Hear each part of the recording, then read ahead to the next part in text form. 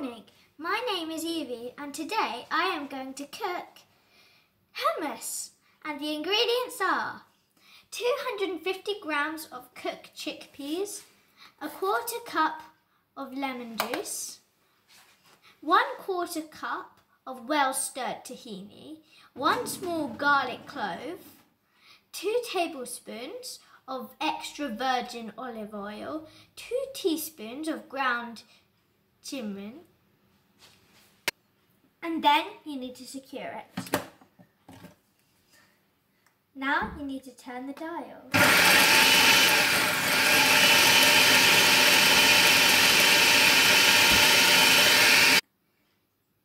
If it is well chopped up like this, you are ready to put in the lemon juice.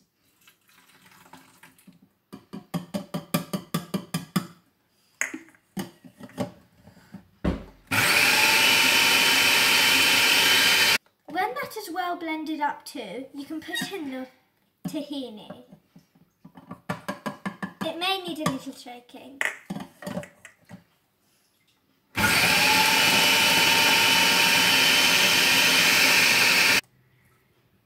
And then two tablespoons of extra virgin olive oil.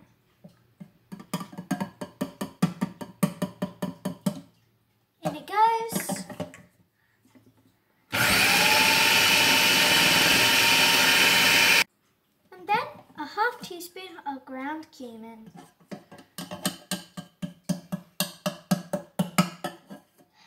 And then you need to add 2 to 3 tablespoons of water.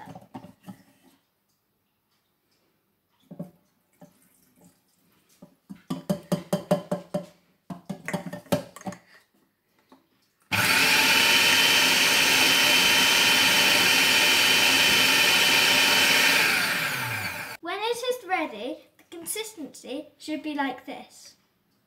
And then you need to add the salt.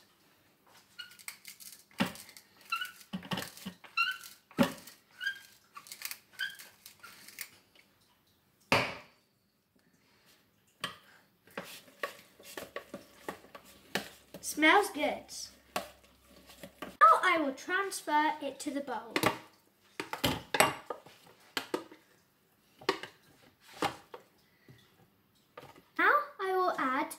Another swirl of olive oil. And some paprika.